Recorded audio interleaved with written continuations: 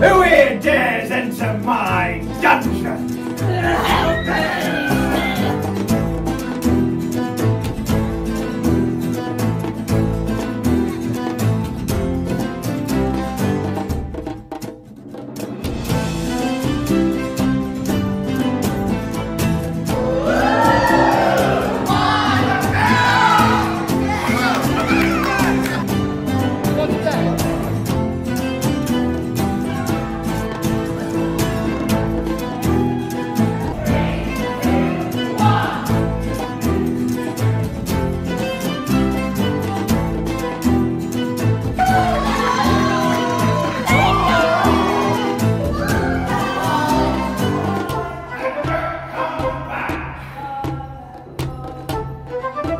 Thank you.